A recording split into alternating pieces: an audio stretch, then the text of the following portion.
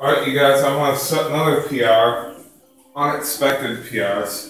315 beltless triple with the SSB bar. Now I've done 320 pounds for four reps with a belt on the SSB bar squat.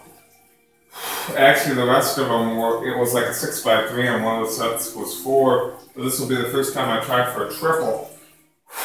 Beltless. 315 SSB bar.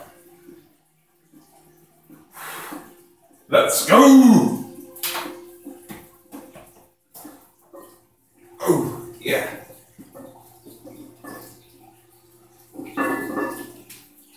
Ah!